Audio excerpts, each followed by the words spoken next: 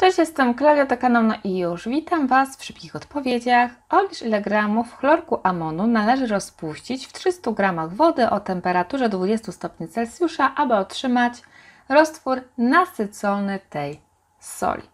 Ok, zacznijmy od tego, że chlorek amonu to NH4, bo to amon, Cl.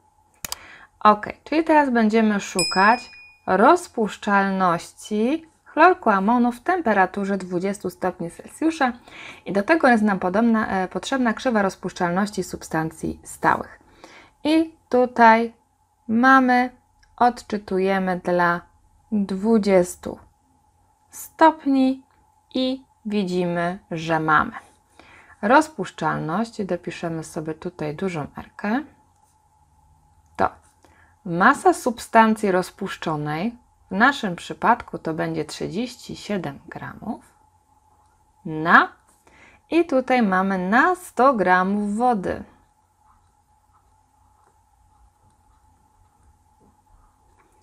Ok, nam w zadaniu podali, że mamy to mieć w 300 gramach wody. Czyli robimy sobie tak. Masa substancji i woda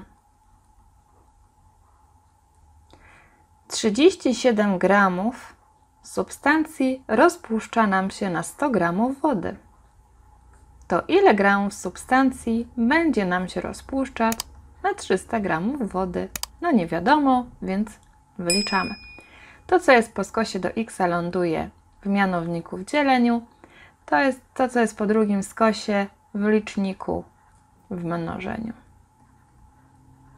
Skracamy sobie zera wymnażamy i otrzymujemy 111 gramów NH4Cl. Dziękuję Wam serdecznie za uwagę i no i już.